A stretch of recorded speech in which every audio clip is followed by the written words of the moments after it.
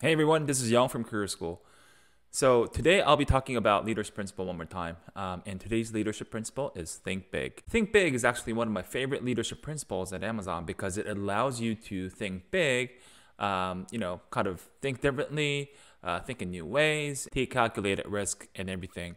And the other thing uh, that I really like about it is because usually um, a lot of the companies back, you know, back in home, back in Korea, or one of the companies that I work for, uh, really forces you to work on your day to day versus just really think big or think about new ideas. And of course, I really like thinking about new stuff, um, just like daydreaming or stuff like that. So this uh, leadership principle really um, is one of my favorite ones because all of those things that I just mentioned. I don't know how this leadership principle really affects other people, but I think think big really allowed me to just like push my limits or think less about why things will not be worked out versus how can we actually make things done.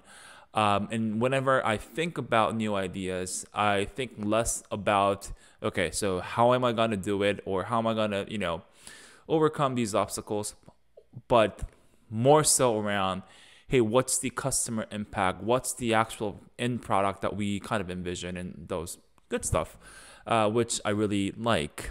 So yeah, uh, enough enough about me, and let's dive into the actual leadership principle. Think big. Thinking small is a self-fulfilling prophecy. Leaders create and communicate a bold direction that inspires results. They think differently and look around corners for ways to serve customers.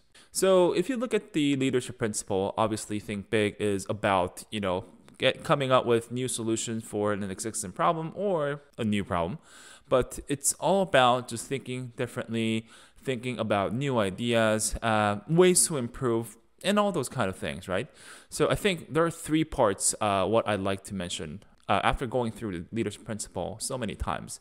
Is one is think long term versus short term it's not only about the project or the work you do, but just like in general, just don't think about immediate outcome only just think about what will this impact in the long term in the future for even like hundreds or tens of hundreds of years later.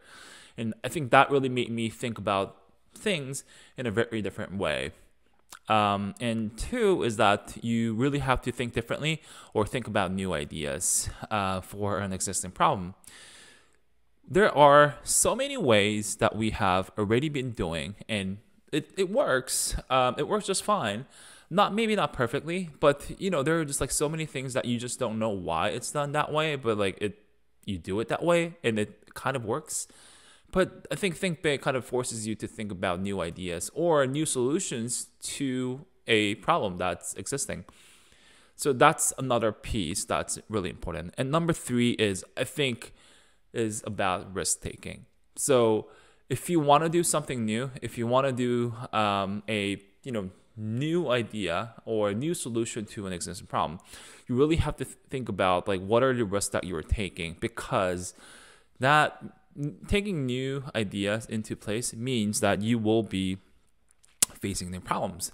So, taking that calculated risk is also important in thinking about this leadership principle as a whole. So, those three things I think are the key elements for Think Big. Yeah, so let's go into the sample questions now.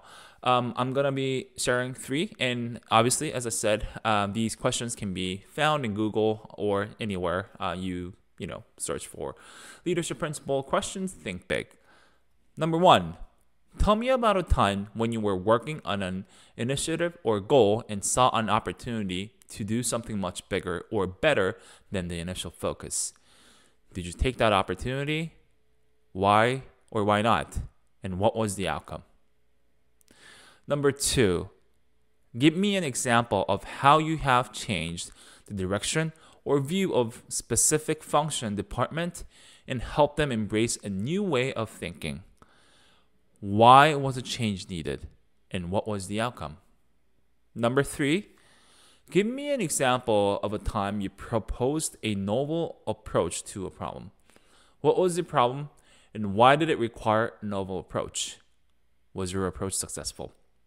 So after looking at the uh, questions, I think there are three key elements. One, um, how and why did you see an opportunity to improve for whatever your business problem was? And then, second, how did you come up with your new solution, your novel idea of solving that problem in a very different way that you have been doing before? And the number three is that how did you actually execute that and achieve what you wanted to achieve and even bit better um, than what you were doing before? So now I'm going to be sharing my story, uh, which I used a few years back when I was interviewing with Amazon. One thing I wanted to comment before going into the sample answer is that I uh, I've actually used this sample to share my example in the deliver results leadership principle video um, for the smartphone update. Um, and I think it's okay to use one sample answer for multiple leadership principle. You just really need to frame it in a different way. Um, so yeah, let's go into the actual answer that I use. Yeah, so um, this is when I was working back in Huawei um, as a product manager. And in 2014, we had this smartphone launch, uh, first smartphone launch for Huawei um, in Korean market, which was called the X3 project. After a few months later, we had launched the product, we had found out that there was an issue with the software and that we needed to update it. So I worked with the software engineers and got the new version out there, and uh, we had it updated to the customers, but our customer complaints were still there because we found out that only about 60% of the people actually updated their phone uh, to the newest version, which they will not find that issue. However, uh, as a product manager at that time, I had to quickly figure out like how to update this to a closer to 100% rate so that customers do not face this software issue anymore. Um, so obviously there were some Im- immediate actions that I took. I notified the marketing folks. I notified the, you know, consumer uh, customer service folks that we will be, uh, and we have provided a new software so that they can uh, share it with the customers, um, and then that encourage customers to update them. And then um, I also had to figure out a long term strategy or a long term solution for this. I was sitting in my office pretty late at night, and then I saw these people um, who were, you know, I think it was the um, office crew who kind of came in to clean up uh, the mess in the office so that it looks really clean in the morning. Um, so yeah, like when I found those people coming in, and it was like really late, almost like midnight, I think, in the office. Um, and I, I found out that it's really interesting to see the work getting done seamlessly to customers who are Huawei employees. Um, and have a clean environment in the morning when people come in.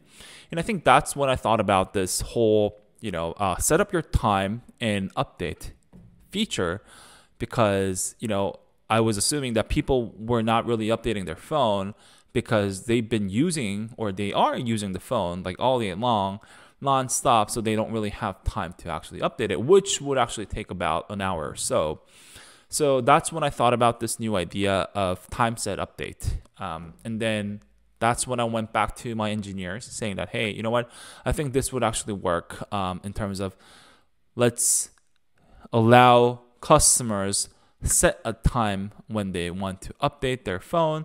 Let's say 3 a.m. in the morning, 4 a.m. in the morning, so that when they wake up, they have a brand new software version in their phones and don't really have to worry about not being able to use the phone, you know, during the day. So yeah, we we you know kind of went back and forth, but at the end of the day, I think we um, ended up rolling this software version, um, which had this new feature in it, and that really got me that that got that really got us up to almost ninety something percent of uh, software update. The the reason I am really happy about this is not only because we were able to solve one problem, but we were able to basically solve problems for future Huawei customers as well, which this is included in all these Huawei smartphones till uh, from that time in, in worldwide. So yeah, um, that that was my story about Think Big. Um, as I said, it might not be a dramatic change or dramatically new idea, but you know, you kind of think about a different thing and then you kind of implement it uh, uh, to your existing problem and you know come up with a new solution that you need to achieve and then it's also very long term when you look at in a Huawei phone impact perspective right so yeah I thought this was a pretty good story to tell and again I I have to say that I've used this um, leadership principle to do my deliver results one, but also use it for uh, think big. Yeah, so thank you so much for watching the video today. Um, really hope you find this helpful. Um, please leave any comment related to Amazon, career, leadership principle, just about anything really um, in the comment below. And please subscribe to my channel, like this video, and share with your friends. And stay tuned for more, more content like this. Thank you so much.